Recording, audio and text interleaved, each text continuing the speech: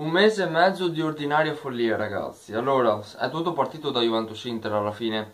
Eh, Juventus-Inter, Juventus-Napoli, Juventus-Milan Tre partite regolari dove alla fine la gente ha parlato di tre partite irregolari Che poi analizzando gli episodi se guardiamo una squadra che è stata sfavorita è stata, è stata la Juventus. Poi ad esempio su Juventus-Milan che tutti mi dicono rigore al 95esimo e quant'altro. Io mi ricordo ad esempio in Supercoppa italiana un rigore non dato alla Juventus per fallo di mano al 120 ma lì tutti zitti. Comunque ai tempi supplementari eravamo ovviamente.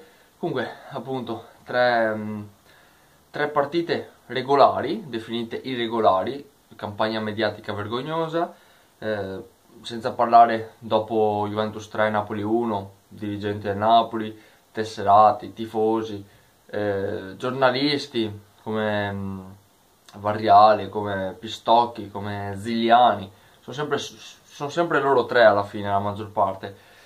Poi siamo arrivati a, mm, dopo queste tre partite, siamo arrivati a, ad ora, eh, prima di parlare del, dell'argomento principale che sappiamo tutti, si parla adesso delle ammunizioni pilotate in nazionale, degli infortuni pilotati, la Juventus è la squadra europea, non italiana, europea che dà più nazionali in giro per il mondo ed è normale che magari possono esserci più infortuni, più squalifiche.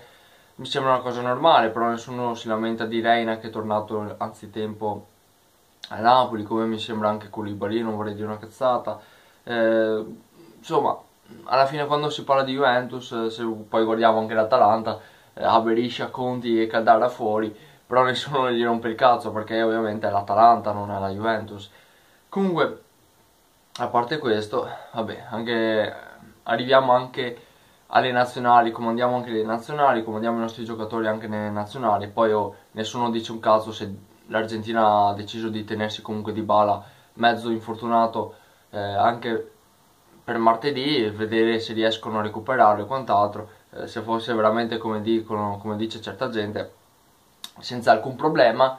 Eh, noi insistevamo come fanno altre società, non faccio nomi, per farlo ritornare in, a casa il prima possibile. Detto questo, arriviamo al clou, al fatto dell'andrangheta, no? al fatto del, del, caso biglietti, dove la FGC deferisce la Juventus, Agnelli e alcuni, alcuni dirigenti. Eh, prima, eh, giorno, due giorni prima dalla Procura di Torino era stata addirittura assolta, dove alla fine aveva detto che i tesserati erano, i dirigenti della Juve erano parte lesa, non erano colpevoli di nessun atto criminale eh, per quanto riguarda l'ambito ordinario, non avevano a che fare con nessun draghettista, non avevano a che fare con l'andrangheta.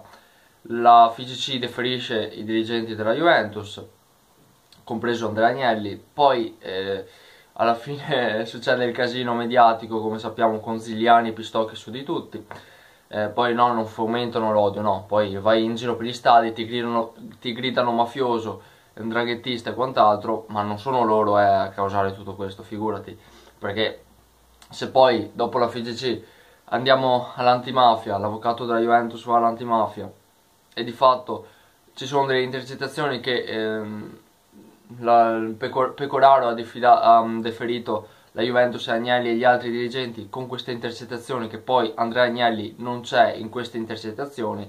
Va bene.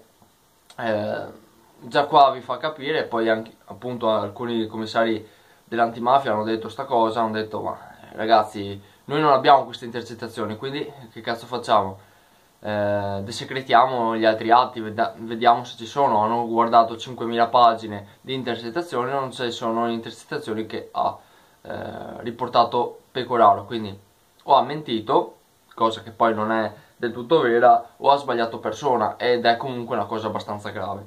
Il giorno dopo cosa succede?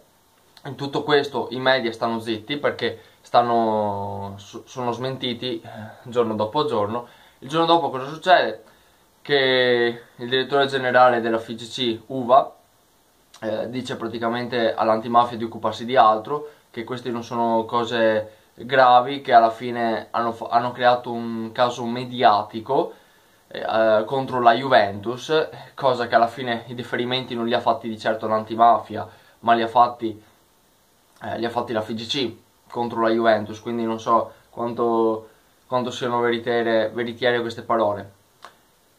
Detto questo, dopo tutta questa cosa, eh, interviene la, anche la Gazzetta dello Sport, intervengono altri media e quant'altro, definendo Uva eh, irresponsabile, eh, definendo che alla fine non è stato un, un, caso mediatico, quando invece sappiamo che è stato un caso mediatico. Insomma, si stanno attaccando eh, stampa, Uva, FIGC, antimafia, ma di tutto il marasma generale passa inosservato una cosa sola, che dovrebbe essere quella che dovrebbero fare i titoloni, che la Juventus è innocente, che la Juventus non ha avuto a che fare con draghettisti, che poi, che poi Dominello, che è quello indagato per ndrangheta, non ha appunto ancora processato per essere stato un boss mafioso, quindi sono sempre il problema è che i giornalisti non usano più il condizionale, questa cosa li frega parecchio, perché eh, una delle prime regole del giornalismo è usare sempre il condizionale se non ci sono ancora sentenze eh, usare, ehm, non usare il condizionale significa che tu hai la certezza di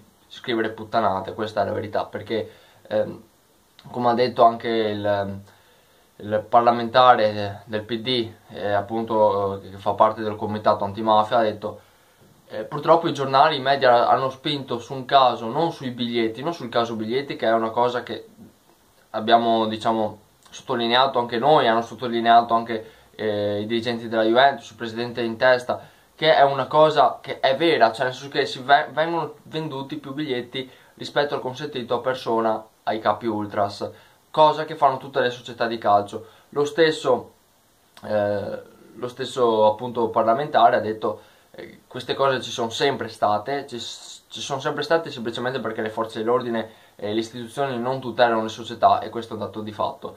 Però ripeto, questo passa inosservato, passano invece eh, la gente purtroppo, ecco, quello che stavo parlando anche con i miei colleghi, insomma, di tifo, che poi la gente non, anche se, cosa che è ormai certa, la Juventus dovesse passare pulita, come per, per il doping, eh, la gente non, non, guarderà le sentenze, questa è la cosa grave. La gente, per noi, per, loro, per la gente in generale, per il populismo, la Juventus è dopata dal 96-97, è stata dopata e se dicono che non è stata dopata è perché è caduto tutto in prescrizione, cosa errata perché la Juventus in secondo grado è stata assolta.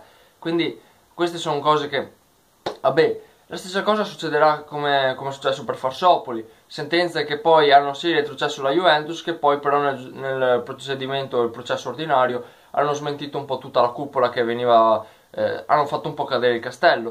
Stessa cosa succederà adesso. Se la Juventus dovesse essere assolta e non, appunto, non essere provato che contattava boss e quant'altro, cosa che appunto eh, verrà dimostrato sicuramente, per, la, per eh, il populismo, per i media, ziliani, pistocchi su tutti, tu passerai come draghettista. Ok? Questa è la verità. È inutile. Cioè, noi anche, purtroppo, chi vince dà fastidio, questo lo sappiamo tutti. Chi vince dà fastidio e devono buttare fango sempre e comunque. Purtroppo la gente non prenderà le sentenze, prenderà il fango che è stato buttato e questo si chiama fomentare odio e istigazione alla violenza, cari giornalisti. Detto questo concludo, tanto per farvi, è stato tanto per farvi un po' il riassunto di questo mese e mezzo di delirio anti-juventino.